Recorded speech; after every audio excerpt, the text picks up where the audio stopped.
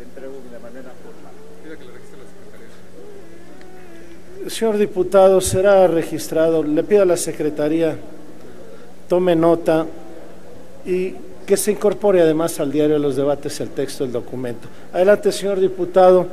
Muchas cinco gracias, minutos. diputado presidente. Tengo dos reservas, una al artículo 12 y otra al artículo 31 de la ley de la Fiscalía General de la República. Quienes estamos aquí tendríamos que estar construyendo el marco jurídico que llevara a nuestro pueblo, a nuestro país a mejores condiciones de vida y a una mejor conducta de los servidores públicos.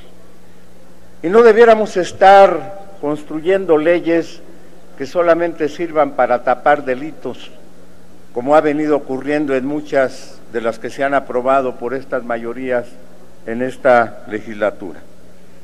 Nos parece lo mismo para esta propuesta de la ley de la Fiscalía General de la República. En ese sentido, sabemos la intolerancia que hay dentro de las mayorías y que seguramente no van a aprobar ninguna de las reservas que hagamos, aunque sean para beneficio de los que hacemos el servicio público. No debiéramos de estar ocultando nada de lo que pasa en este país, ni, bien, ni viendo a ver cómo podemos tapar las conductas ilícitas de nuestros compadres. Nosotros hemos aceptado, y así debería de aceptarse, también la conducta incorrecta de un servidor público que llegó a un cargo por el PRD, y me refiero al alcalde de Iguala. Debiéramos estar preocupados también por el alcalde de Cocula. Debiéramos estar preocupados también por lo que sucedió en Atenco, por lo que sucedió en Tlatlaya, por lo que ha venido ocurriendo en petróleos mexicanos con oceanografía. Debiéramos de estar preocupados porque a más de un año del desastre que hubo en Acapulco y en Guerrero por causa de las tormentas tropicales y que se dijo que se iba a ir a fondo en quién había dado los permisos para construir en zonas en las que no debería de construirse, ahí siguen tan campantes como si no pasara nada. Eso es lo que debiéramos estar preocupándonos. Por eso decimos sí castigo al alcalde de Iguala, pero también castigo al alcalde de Cocula.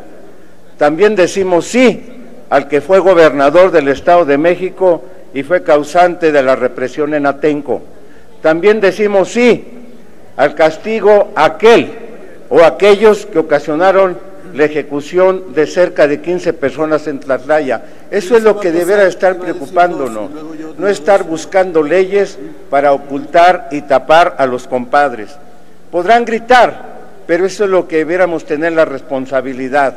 Sí, castigo a Iguala, al alcalde, sí castigo al alcalde de Cocula, sí castigo al, causante de la represión en Atenco, que es ahora quien gobierna este país, o dice que gobierna, pero que lo ha llevado al desastre en compañía de otros que han venido impulsando este modelo neoliberal del desarrollo, que lo único que ha traído es pobreza a nuestro país. La historia los va a juzgar.